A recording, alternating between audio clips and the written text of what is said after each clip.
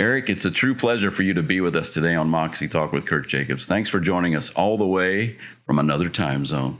Welcome, my friend. Right. Right. Good to be here from Las Vegas. Wish we could be in person. We could. But, uh, this is the way the world is now. It is. so here we are. It is. So, you know, I've read your bio. It's pretty extraordinary. You've you came from a pretty um, in my opinion, you know, cloistered background, somewhat sheltered. You're now doing some very uh, in, in my opinion, I wouldn't say evocative, but but necessary work that needs to be done in the podcast space you know, you've got two podcasts now as of this taping.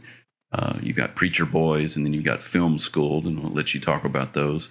But what drives you to excel uh, in these areas? And you know, you bypass college, from what I understand, so it's pretty unique, in my opinion. Not to mention your history with Guestio.com, which is how we met. Right.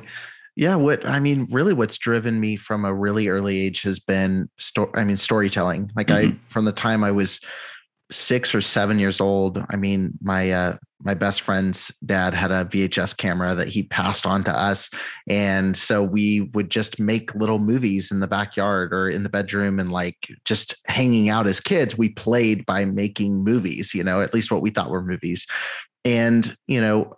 Throughout my entire life, the one consistent thing, whether it's podcasting, whether it's making videos, whether it's graphic design, it's always been telling stories in one form or another. And the meaning that those stories have has evolved over time. It mm-hmm. went from, you know, reenacting scenes from favorite movies to now doing advocacy work through the podcast.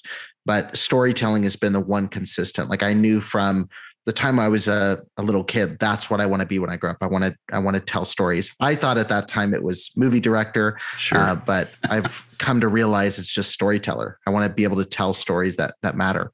And don't you love living in this age where we can we've got all this technology and it's yeah, you know it doesn't cost millions of dollars and huge studios and you know a staff of 50 just to do what we're doing. I, I, that's what I love about it.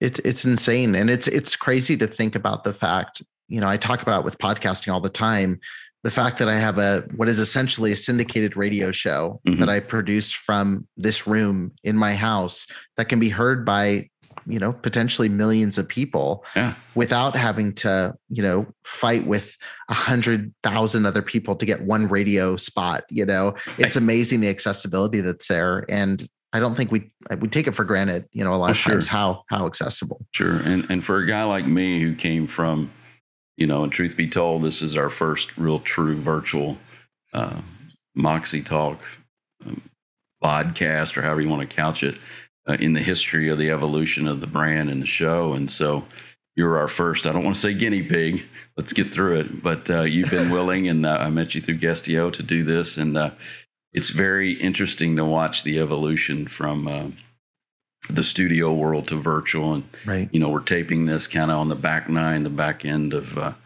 COVID 19. And I try to keep these discussions timeless so people can watch them years from now. Uh, but to give some perspective, that really was a tectonic shift, I think, in yeah. media production, much so and much more so in a good way than a bad way, but very different. So it's taken right. me a while to uh, come up to speed. But enough of me.